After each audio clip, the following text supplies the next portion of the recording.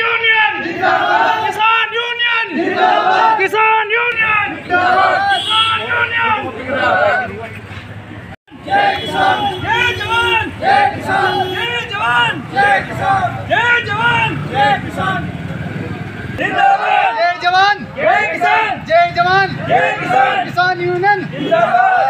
Union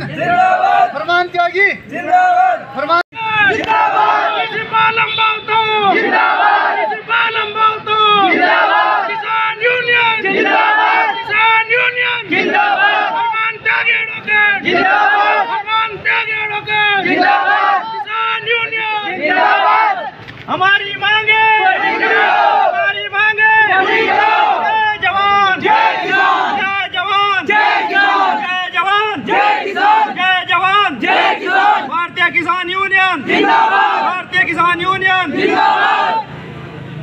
उनकी आत्माओं की लाज रखिए उनकी रूहों की लाज रखिए उनके बारे में कुछ सोचिए। जिस पैसे को जिस जिस माल कुछ दौलत को तुम लोगों ने इस किसान के कीड़ों के ज़रिए आदमी है। पता नहीं आदमी है या जिन्नात या जानवर बन गए हैं। मेरे भाइयों इस बारे में सोचो। हम अपना पैगाम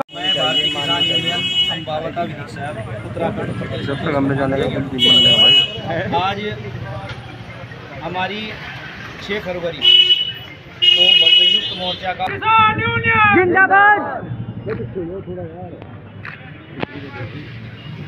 आज 6 फरवरी है। जैसा कि आप लोगों को जानकारी होगी कि संयुक्त मोर्चा के द्वारा दिल्ली में आंदोलन चल रहा। है तो उस आंदोलन का एक ही मुख्य उद्देश्य है कि तीनों कृषि कानून वापस लिए जाएँ। सरकार ने जो हाल ही में अध्यादेश लाकर कानून बनाए हैं, वो वापस लिए जाएँ।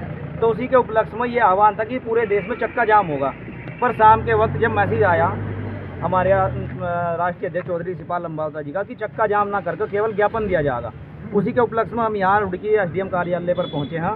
अपना एक ज्ञापन तीन मांगों को लेकर देना है, जिसमें हमारी मुख्य तीन मांग है कि तीनों कृषि कानून वापस हों और जो एमएसपी पर है एमएसपी की फसिल एमएसपी की फ़सल की गारंटी का मूल्य मूल्य का जो है कानून बनाया जाए भाई उस पर फ़सल का जो भी फ़सल का मूल्य है, उस पर गारंटी दे दी जाए सरकार के द्वारा और कानून बना दिया जाए एक तो ये है, दूसरा हमारा जो संपूर्ण भारत के किसान हैं, उन्हें कर्जा मुक्त किया जाए।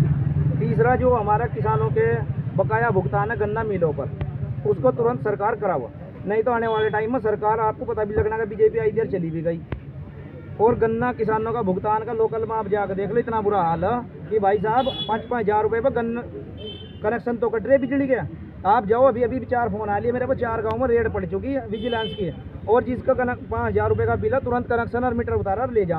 और जिसका दस हज़ार का खर्चा नहीं आता, उसको दो दो लाख रुपये का बिल भेज रही सरकार।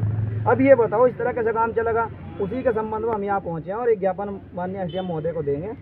और जब तक ये मांग पूरी सुनाई गई रखी है।